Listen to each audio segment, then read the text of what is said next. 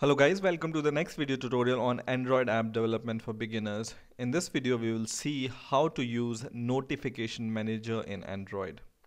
So for example, I have uh, this running app and I'm going to show you how this will work and then we are going to see how we can write the code. So for example, this is my app which is running and this has only one button which says notify me. And when I click this button, it's going to give me a um, notification something like this and when I drag this down I can see this notification which has some content title notification content and some extra features which we are going to see. So this kind of notification how we can uh, you know initiate these kind of notification in Android let's see. So first of all I have this blank project and as you may have guessed we are going to use a button here and I'm going to change the button uh, text as notify me okay? And the button ID I'm going to leave it as default which is button. And now I'm going to go to my main activity dot java file. So in here I'm going to declare a button variable. So button btn for example. And I will give alt enter to include the button imports. And now I will take this uh, button variable and I'm going to cast it inside my on create method. So button is equal to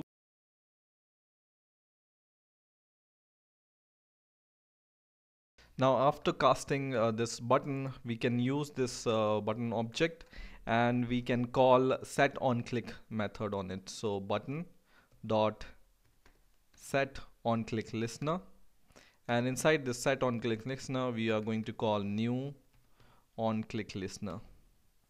And inside this on click method first of all I'm going to create an object of intent. So intent intent object name is equal to new.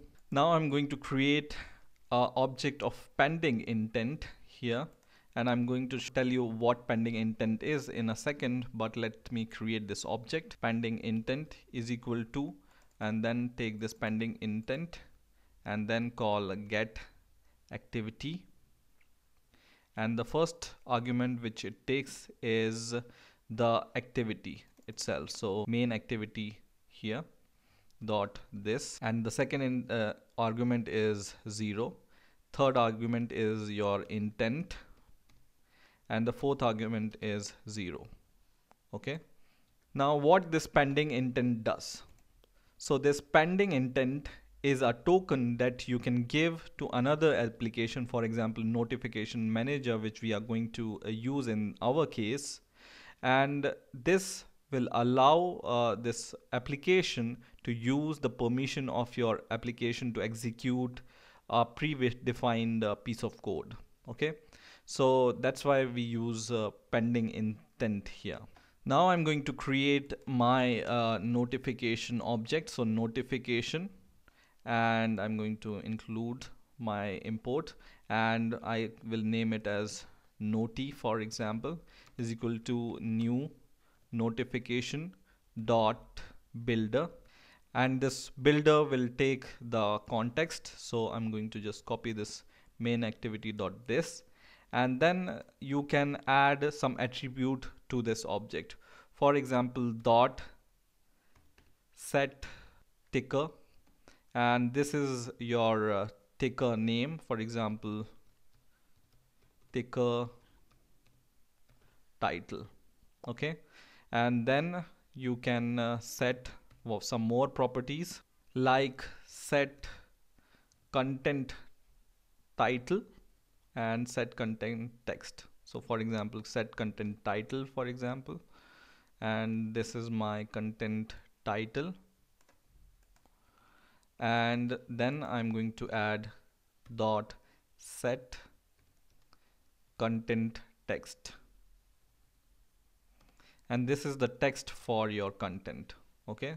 So for example the content text and I can add as many text as I want something like this. And this this will be the text which will appear here. So when I drag this and this is my notification content. Okay?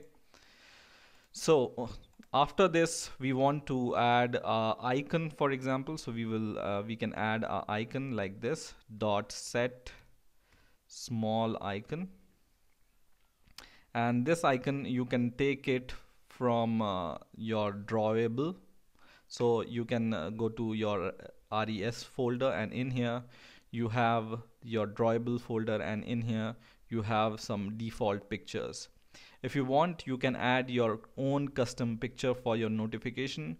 But for now, I'm using the default pictures. Okay. So you can drag and drop your picture here and use it uh, if you want. But uh, for now, the default picture will be okay. So in here, r dot drawable dot ic launcher. Okay? This is uh, my default picture name. And then at the last you can add the content. So dot set content. And we will pass our p intent here and then we will call get notification on this notification object okay and here I think it should be set content intent because we are passing intent here right so just change it to set content intent and, and pass your pending intent here. And in the next line, we can add some flags to our notifications. So for example, noti dot flags is equal to notification dot these are all the flags which uh, we can uh, add here but uh, the flag we want is this flag auto cancel okay? So this flag whenever we click the notification it will cancel our notification okay? Now in the next line we will declare a notification manager object. So just write notification manager. I'm going to name it as nm is equal to and we are going to cast notification manager. And then we will get services. So get system service. And in here we want to call notification service. Okay?